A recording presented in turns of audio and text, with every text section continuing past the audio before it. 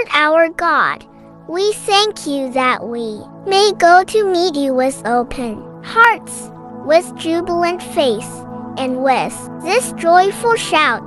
God's salvation is coming through Jesus Christ. Day is dawning on earth for all nations. Stay with us and help us. Send us your spirit to strengthen us, especially in times of trouble. Let all nations come before you. Let us tell all peoples, be comforted. The salvation of our God, who is also your God, is coming. In this salvation we will rejoice together forevermore to the glory of our God. Amen.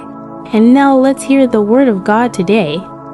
For today's Gospel reading from St. John chapter 1 verses 29 to 34. The next day he saw Jesus coming towards him and said, Look, there is the Lamb of God that takes away the sin of the world.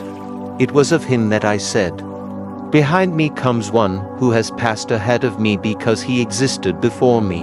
I did not know him myself, and yet, my purpose in coming to baptize with water was so that he might be revealed to Israel. And John declared, I saw the Spirit come down on him, like a dove from heaven, and rest on him. I did not know him myself, but he who sent me to baptize with water had said to me, The man on whom you see the Spirit come down and rest is the one who is to baptize with the Holy Spirit. I have seen and I testify that he is the chosen one of God. The word of the Lord. Praise to you, O Lord Jesus Christ.